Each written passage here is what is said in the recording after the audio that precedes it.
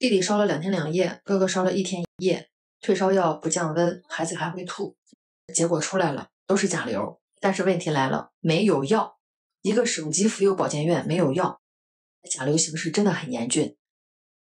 中共口中的甲流疫情已经席卷全国近一个月，在武汉、山东等地，部分学校再度停课。与此同时，发热门诊爆满、药品短缺、抗原试剂脱销等现象也在各地轮番上演。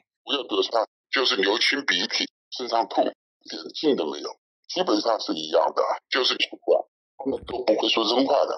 从小听的是国产万金粮，我从来也没有看过有万金粮，这是一个假话。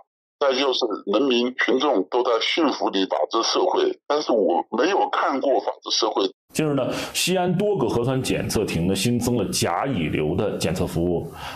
哎呀，一听这个就有点慌啊！不知道您会不会和我一样有这种感觉？贼害怕张和子们卷土重来，再整点什么幺蛾子什么的哈。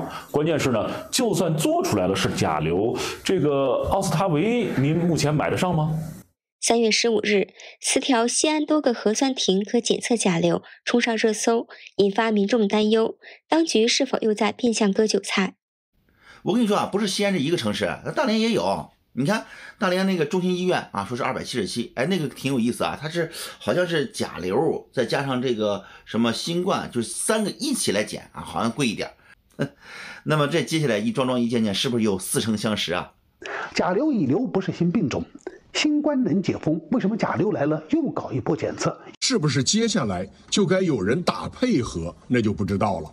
比如学校要求必须做检测，比如餐厅要求必须是阴性，比如去请假必须要出具检测报告，比如机关单位、商场、公园要求必须符合要求才能进入，还是熟悉的配方，还是熟悉的味道。